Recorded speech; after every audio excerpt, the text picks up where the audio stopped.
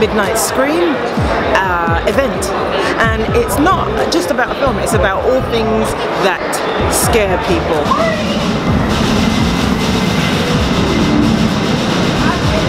So there's um, uh, talks about uh, escape rooms, which is like a big thing now, and um, there's obviously the Etheria screenings, which my film is part of. People, you know, talking about horror art, and um, there's some people that are reenacting um, certain types of comics, like Tales from the Crypt and things like that.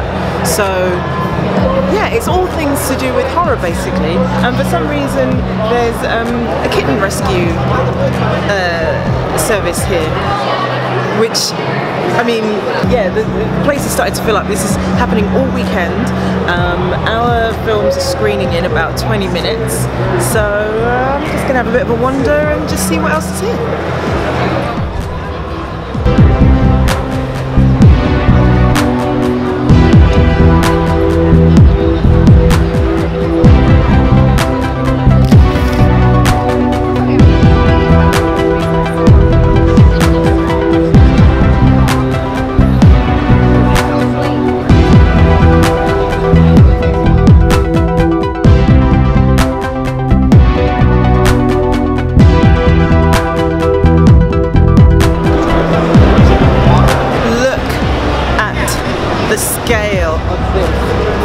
Is the whole massive exhibition centre. It goes way, way, way, way down this way. So I'm just gonna go take a look and just see what kind of exhibits there are.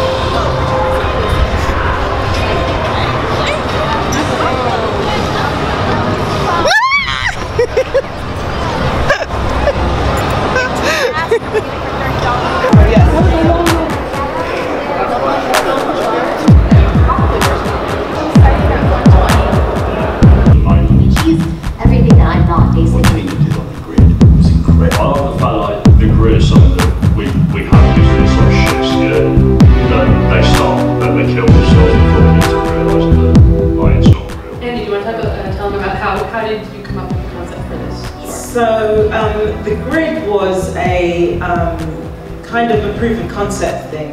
And I was in film school at the time and they, it was a very short program and they said, oh, by the way, by the end of this, you should have a film, you should have written a film that you can shoot. And I was just thinking, I'm not going to be able to come up with something that quickly while we're making all these other films. I thought I'll try and make it kind of documentary style so that at least I can share the idea. So if somebody watches it, they'll get what the feature could be about. Well, can I have three? Can I have the Matrix trilogy?